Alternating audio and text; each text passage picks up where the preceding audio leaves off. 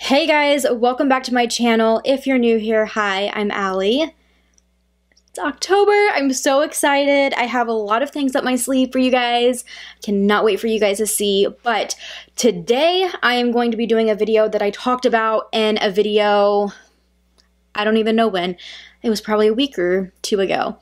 I tried out this little mixture here as a tinted moisturizer. So I'm going to redo that today with you guys and by making my own tinted moisturizer. So we're gonna jump into this.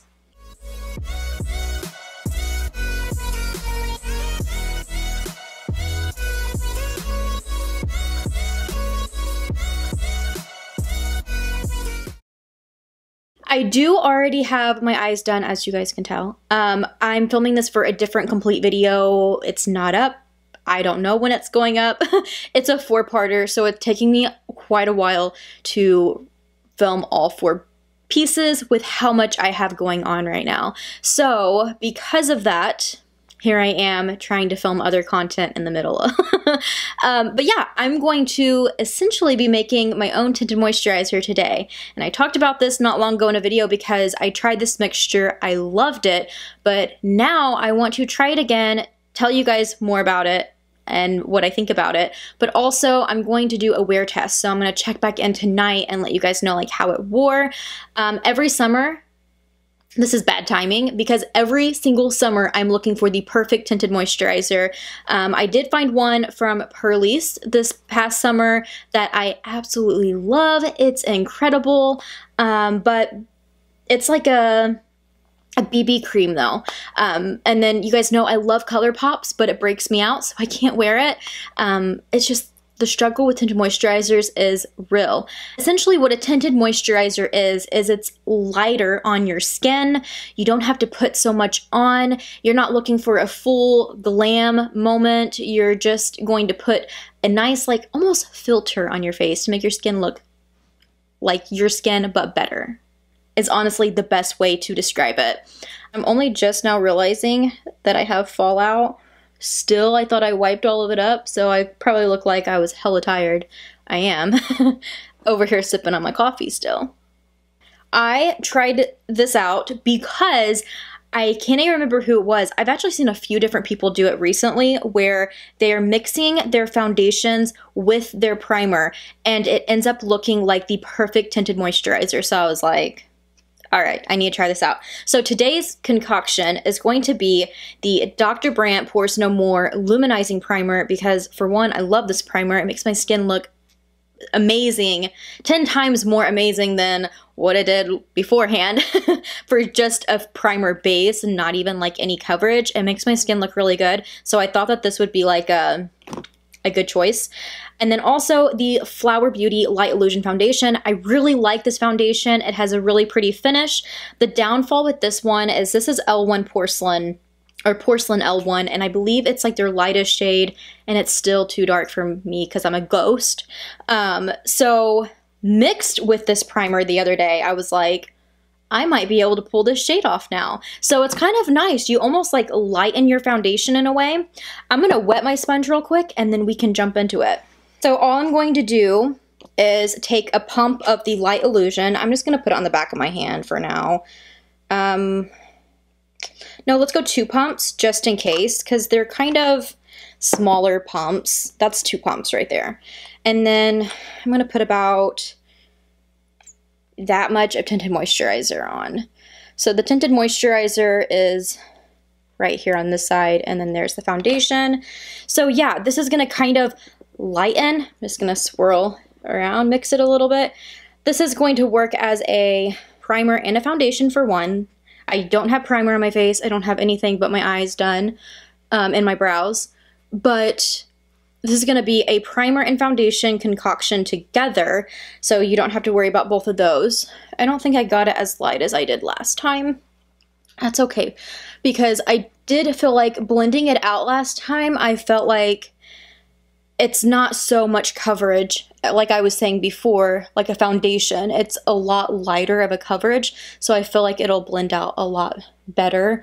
Um, and a little goes a long way with it like this, I feel. You guys see that? Like, the finish, everything is just so beautiful. Like I said, I already know like how the finish looks because I did try this in a look not too long ago and I was like, this is like a full, like its own video content. But yeah, I've seen quite a few different people. I wish I could credit some people, but I've seen so many different people uh, do this. I was like, uh, because you're probably like I was. You're probably like, well, can't you just go out and just buy a tinted moisturizer?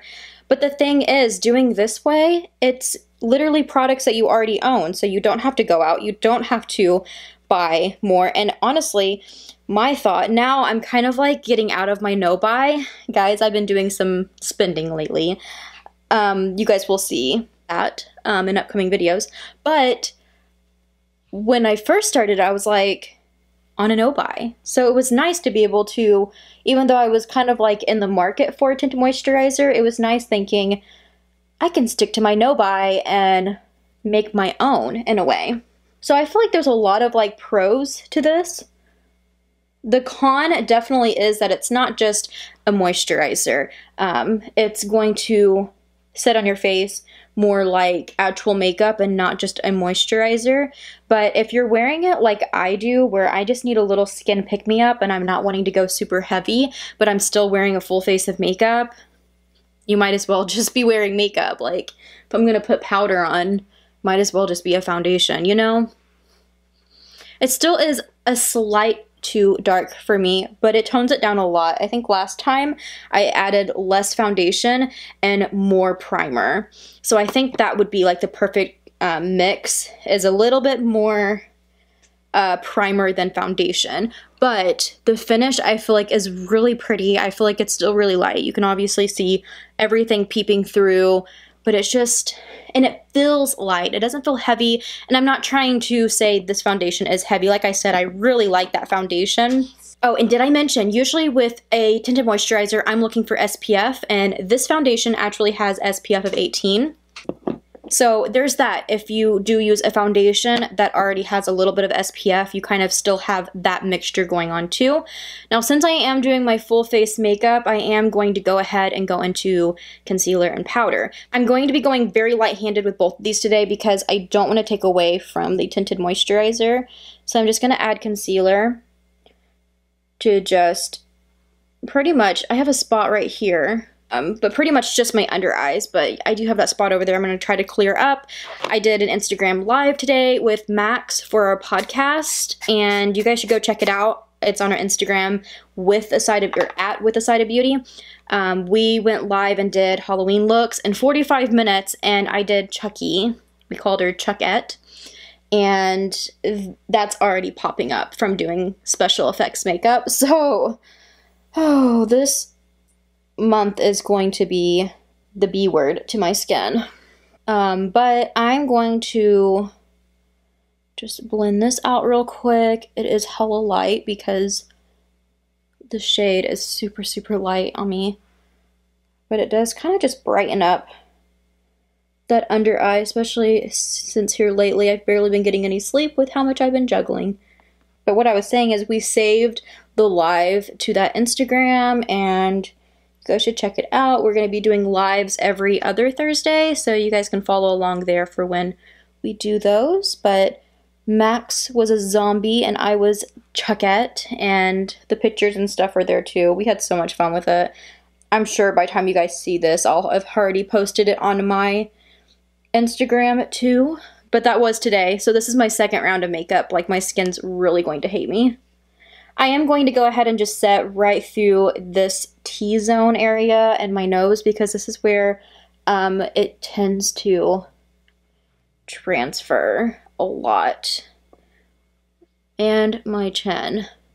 Okay, for everywhere else, I'm going to go ahead and dip into it, the powder, into my brush, but then I'm going to knock off like almost all of it and barely use anything on the rest of my face, just a light little dusting because I am going to apply regular face makeup and I don't want anything to move, but with my time schedule today, I'm going to go ahead and show you guys what it's looking like. Don't mind my under eyes, they are hella bright right now because of that concealer, but the finish and everything I feel like is so light, but it just looks so good. hopefully you guys can see okay. My neighbors are going at it with like every machinery item they can find. But yeah. I'm just really, really liking this. Sorry, I look like a floating head today. But yeah, I'm really liking it kind of have given you guys my pros for this. Um, any cons I will have, I will talk to you guys tonight about if I remember. Let's hope so. But I'm overall going to tell you guys how it wore throughout the day and all of that later on tonight. So yeah. I'm going to finish up my makeup and I will include little shots of it. Um, but then I will just see you guys tonight when we wrap up the video.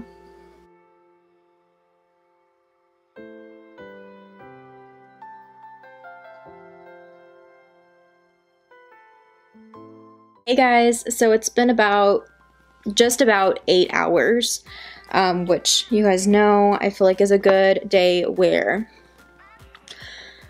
I cannot tell you how much I want to pat my face with this. And I'm sorry, I look like a hot mess. My lipstick is like wearing off, everything else.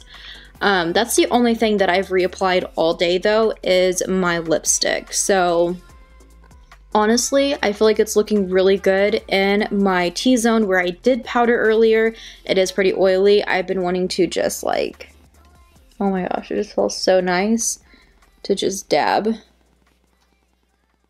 Besides that though, like, I feel like there's a little wear and tear but honestly it held up so good and I really liked the way my makeup looked today. Even like leaving the house earlier and kind of like looking in the mirror in the car I was just like my makeup looks really good today. It's a win for me. Um, I'm super excited about it. I definitely want to try out some others too. Let me know if there's like a combination you guys kind of want to see if you want me to do some more of these and see how they wear you may not be interested in these at all, I understand, um, so I could just do them on my own time as well. But if you have found any like combos that work really well for you, I do have like combo to dry skin, but hit me up, let me know. I would love to try them out, see for myself. Definitely going into fall time now, so I'm like wanting more of like a matte or full coverage look, so um, I probably won't do it too often, but for the days where I just want something light and pretty, I'm really loving this.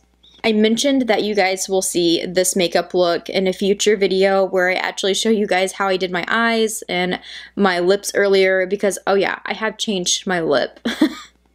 I will probably forget to mention this down below, so I'm just going to say it here. Earlier, I was wearing the green um, liquid lipstick from Jeffree Star Cosmetics in the shade Karma. Right now I'm wearing the same Jeffree Star Cosmetics liquid or velour liquid lipstick, but this is the shade